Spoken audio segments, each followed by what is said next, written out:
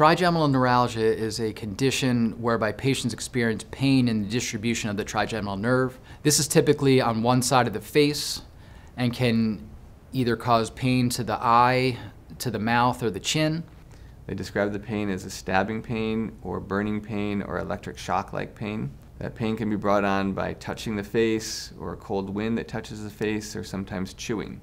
That pain can come at any time. The classic cause is because there's a blood vessel touching the nerve right at the trunk of the nerve. If you think of the trigeminal nerve as a tree, three big branches and a trunk, and before that trunk plants itself into the ground to go to the brain, there's an artery touching the trunk, pulsating on it, indenting it. That's the traditional cause. It's not always the cause, but stress has not been identified as the primary cause of trigeminal neuralgia. Usually the treatments entail medications, whether they be Tylenol, Motrin, or more specific medications prescribed by a neurologist. Other treatment options are available, including Gamma Knife radiosurgery.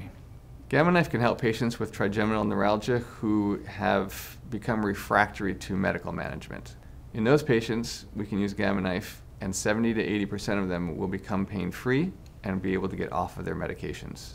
Gamma Knife is very effective in treating trigeminal neuralgia by decreasing the sensitivity of the nerve once the nerve is treated with radiation, it tends not to be as sensitive and the symptoms are usually effectively reduced.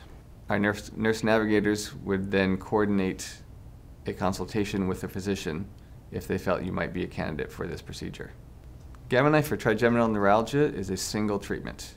It is done as an outpatient procedure in one procedure, and that's all it requires to get the 70 to 80% chance of becoming pain-free.